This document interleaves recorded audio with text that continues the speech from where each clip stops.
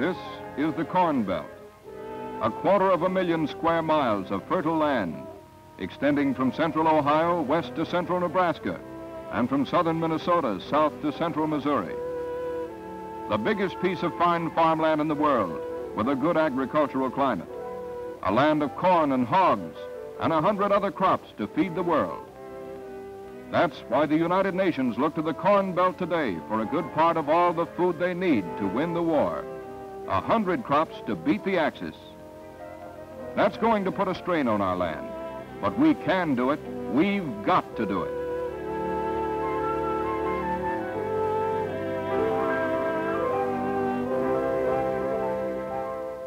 We did the same job the last war. We used mass production. We grew corn and wheat and other crops on every acre we had under the plow. And then we broke out new land with fine straight furrows. We thought that was the right way to farm in those days. We had to break out new land, or we thought we did, to grow the food that Uncle Sam had to have.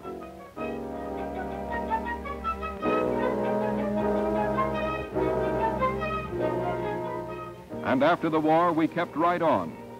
Farming was getting to be big business, and we went in for expansion. We did a good job of it, and we were proud of our farms, proud of our production.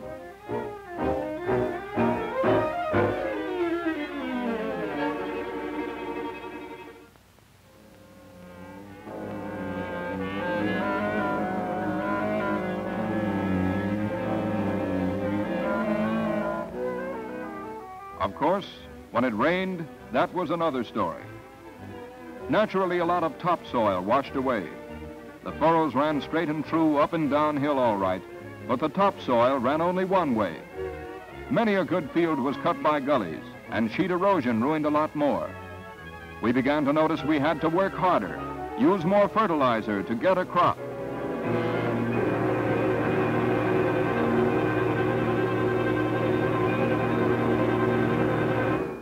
Then we began to realize that maybe we hadn't been doing such a good job of farming after all. We hadn't been taking good care of our land.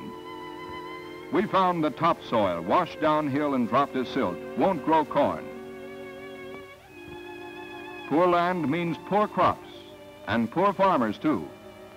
And a lot of us were getting poorer pretty fast, what with low prices and sick land.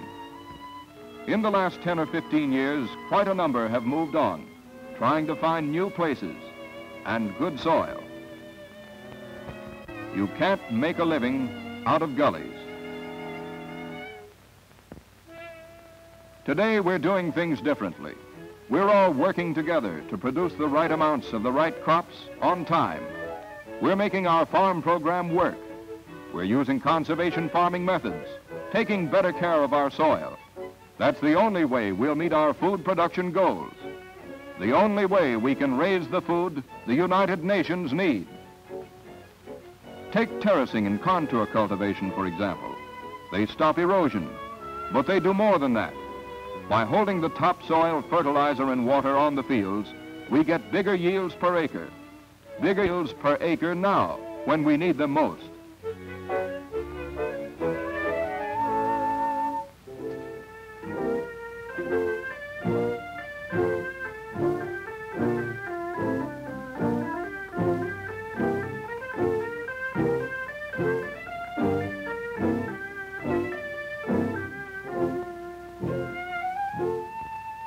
On pasture land, furrows hold the water and make better grazing. Earthen dams are easy to build and useful. They hold back water.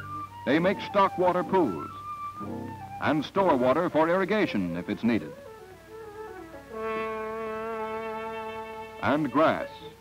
We're growing more grass all the time because it's a crop as well as a conservation measure and good grass pasture is a good, inexpensive way to feed hogs. A lot of us are planting cover crops between the rows after the corn's been cut. Then we plow it under. It's a soil conditioner. That's one way to build up run-down land and keep good land good. Simple and easy, and good conservation farming.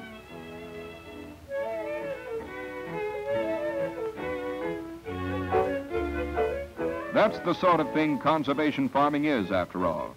A big thing that helps us do big things. But some of the best practices are as simple and easy as ABC. Like putting manure and fertilizer and lime on the fields.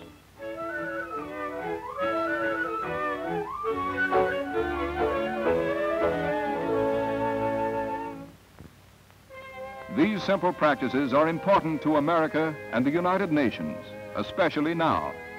We found we can get more corn per acre, more soybeans, and more of just about everything we grow using these simple conservation practices. This means that if we use these methods generally, we'll surely meet our Food for Freedom goals. Food for Freedom. That's a good slogan, a battle cry for the farmers of America. And it makes sense, too. If we want to win this war, we've got to be strong, tough, and husky.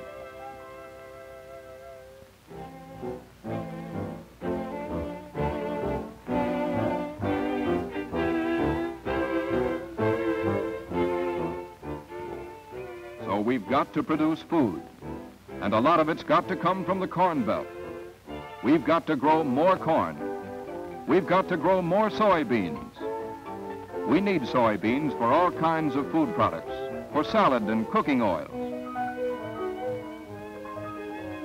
We've got to grow more beans, more tomatoes, more onions, more of all kinds of vegetables and fruits.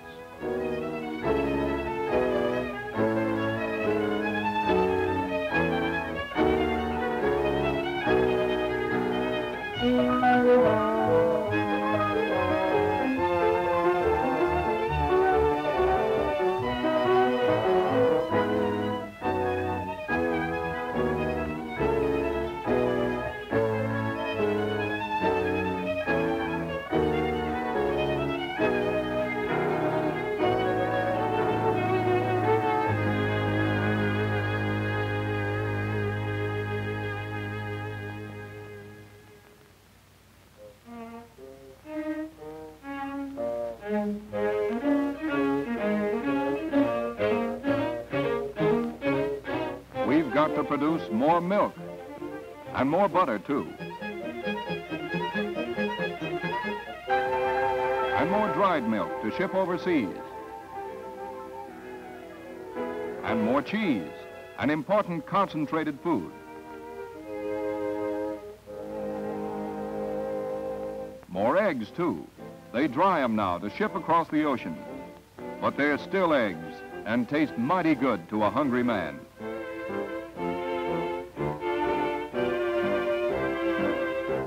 We need more meat, more beef and more pork for soldiers, sailors, and civilians. Something that will stick to their ribs and keep them strong and husky. Food is an important part of the material of war. And since the only way we can produce the added food we need is through conservation farming methods, that's what a lot of us are doing, because we've got to keep them growing. We've got to keep them rolling by the trainload and by the shipload.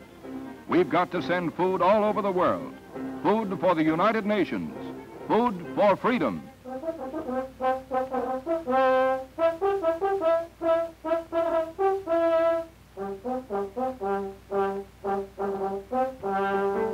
Here are some of the boys who are standing guard and fighting for us here and on the other side of the world. They look husky, and it's our job to help keep them that way by growing the food they need.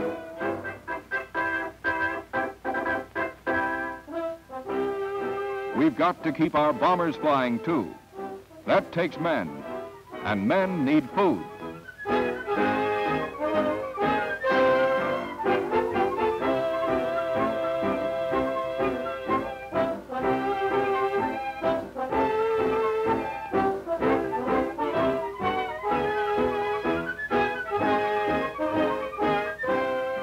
Those strips curving around the hillsides are a symbol of the new conservation farming that is helping the farmers of America produce.